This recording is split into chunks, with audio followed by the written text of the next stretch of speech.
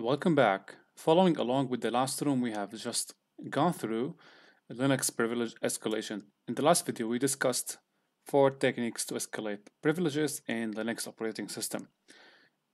We have gone through exploiting services or running processes under the root and also we have exploited or demonstrated how to take advantage of weak file permissions in the etc shadow and etc password. Today I'm going to go over the shell escape and the environment variables. How can you use these two concepts to escalate your privileges and or while you are auditing or doing pen testing for the Linux operating system. Alright, so the first one will be about sudo shell escape sequence. So without going through the task and reading everything, let's demonstrate everything practically, easier and more neat. So basically we log into the machine we are the user or the user at the Debian. So we list, we type ID to see who we are.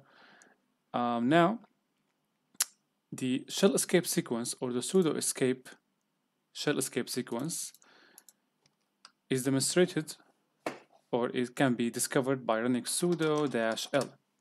So by running sudo dash l, you can see we have several binaries we can run as root. And uh, if you have if are following my videos or if in general if you do CTF more often or if you do pen testing you will uh, uh, notice that one of the methods to see privilege escalation opportunities is by issuing sudo-l and see what are the binaries that we can use at the root. So this is called shell escape sequence. So basically we have several binaries. Um, the next step is to see how we can use these binaries to gain to, or to convert uh, to, to, manipulate the function of the binary into giving us a root shell. So basically we have to see how we can do that. Now basically in order to know how to do that we have to go to GTFO bins and see if these binaries or one of these binaries can be found under sudo. So let's use GTFO bins. Let's take an example. Let's say iftop. So we search for iftop. We see here we have the functions that we can abuse are shell, sudo, and limited sudo. In our case, we need to see sudo here. So to take shell, here under sudo, if the binary is allowed to run as super user by sudo, which is the case, it doesn't drop the elevated privileges and may be used to access the file system, escalate, or maintain privileged access. So just type sudo iftop and bin sh. Let's try it. sudo iftop.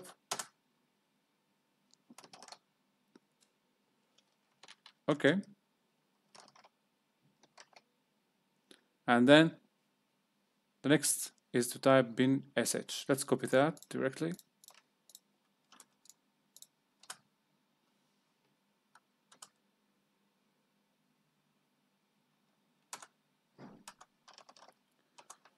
Like we failed. Let me exit again.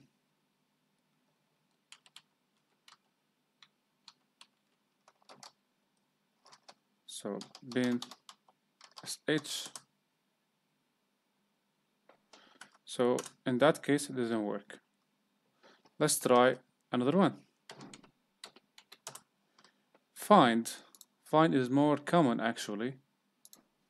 Let's see find. So for sudo, if the binary is allowed, so we have to execute this command.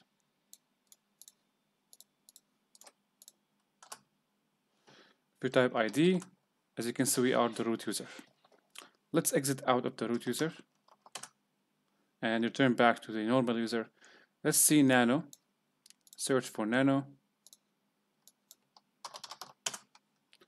sudo so for sudo, if the binary is allowed the same cliche, sudo nano. Okay. So type sudo nano and then control R, control X.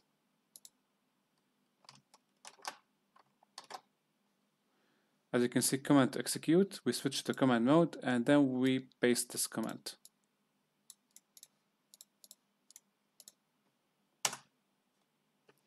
ID. As you can see, we are the root user. Not so neat and tidy, but that's how you can do it with Nano. Exit.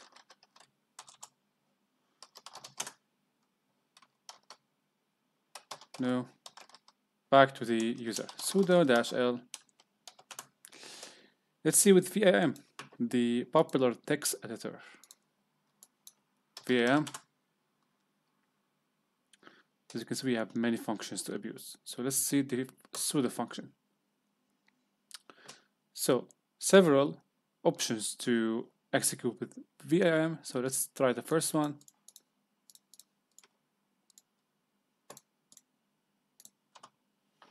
ID, the root user.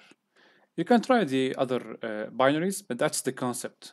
Just see what are the binaries that you can run under root user and see if you can abuse the function of sudo uh, using GTF opens. This is called shell escape sequence. Let's exit back to the normal user.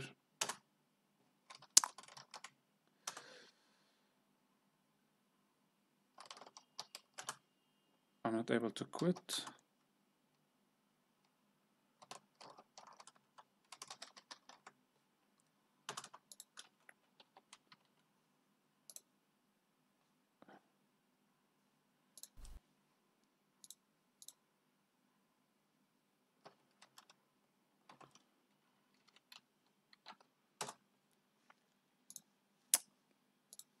Take the password.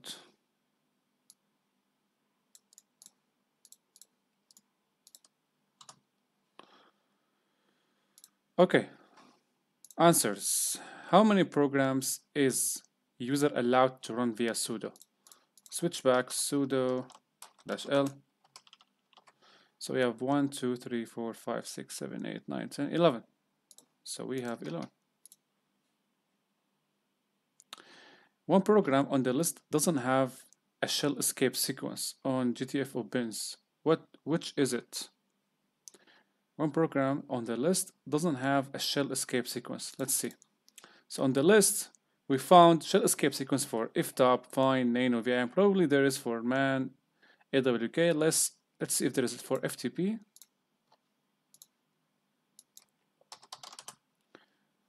And there is. Nmap, Nmap of course there is. Apache 2. So that's it. Apache 2 doesn't have shell escape sequence. So we answer with Apache 2. Consider how you might use this program with sudo to gain root privileges without a shell escape sequence. Okay, no answer is required. Next one is pseudo environment variables. Okay. Now, let me switch, let me clear the screen. Now let's go to home, user, tools,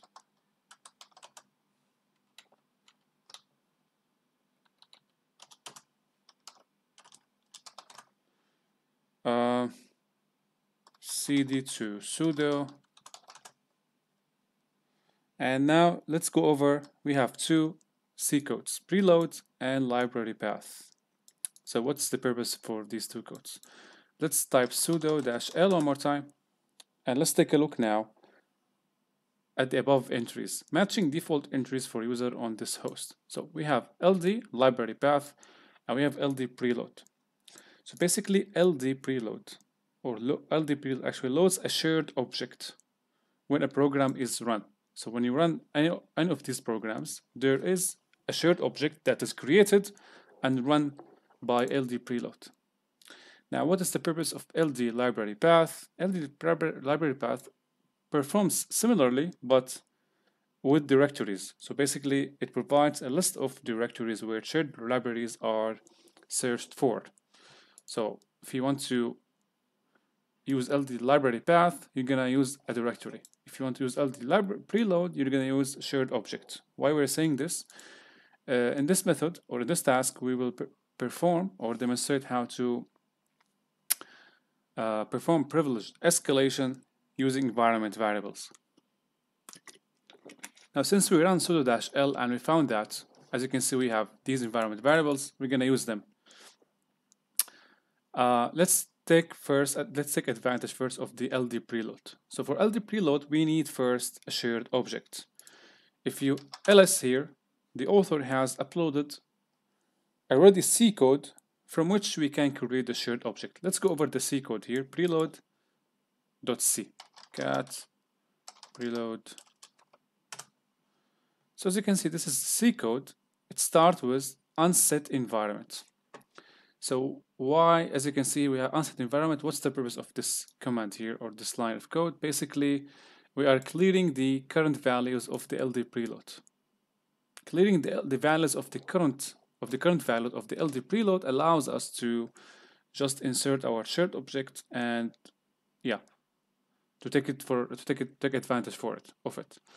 Uh, next one here we set the user ID all zeros which corresponds to the root and then we execute shell. So now let's create a shared object out of the C code and the shared object will be used or will be stored yeah will be used by the LD preload and then we run a program and let the program use the shared object we have just created. So gcc dash f pic and then dash we define shared object start files. Define the path. Most probably if you're doing this uh, in a production environment for a client you're gonna choose temp because temp most probably you will have a write privilege in the temp directory. So preload name it preload.so define the directory where you hold the code which is yeah let me write it manually. It's better. I don't want to run into mistakes. Sudo preload.c ls now go to temp. As you can see now we have the shared object. Now let's run sudo dash l one more time. The, ne the next step is to run one of these programs okay? And let the ld preload load our shared object to get the shell. So let's try um, let me try with Apache 2 since Apache 2 there is no GTFO bins. There is no uh, shell escape for that binary in the GTFO bins. So probably if you are uh, auditing a machine and you only find the Apache 2 that can be run as sudo you can't use the shell escape sequence method. You're gonna need to use the uh, environment variable methods. So sudo and then ld preload equal the directory which holds our shared object. So and then the program name is apache2 id and you are the root user. Successfully exploited.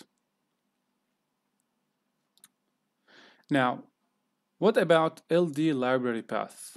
Let's exit out of this, back to the normal user. If we want to exploit Apache 2 using the LD library path, we have to first create a shared object that is identical to one to at least one of the shared objects used legally by Apache 2. To see what are the shared objects used by Apache 2, run LDD and the full path for the binary. SBin, I guess, Apache 2.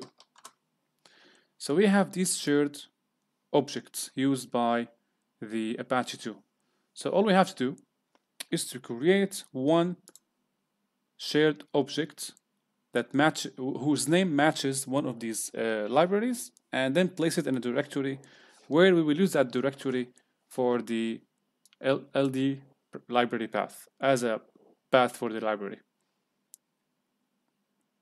So how to create now the shared object for this case? Let's go to, let's go back to uh, this directory.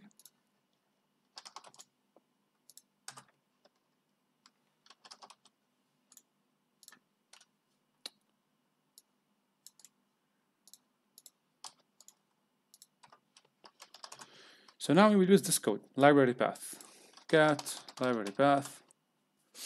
This is the code. As you can see, first we clear the any clear all the values from the LD library path and the same method we followed with the first binary we do the same in this in this code so let's create now the shared object gcc dash o define where we will hold the shared object temp and then choose one choose a name for our shared object so in my case I tried the lb crypt or library crypt and worked.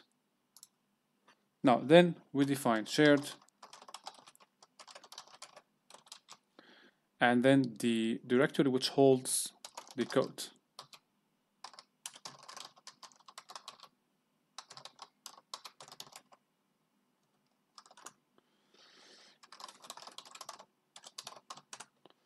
See now we have created the shared object. Now let's use now the shared object as a, a replacement for the legal one. So sudo ld library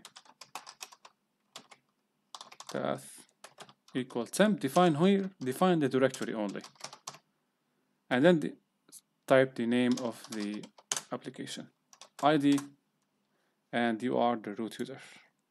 So, in the next video, we will go over cron jobs and use them as a way to escalate the privileges. So that's it for today and see you in the next video.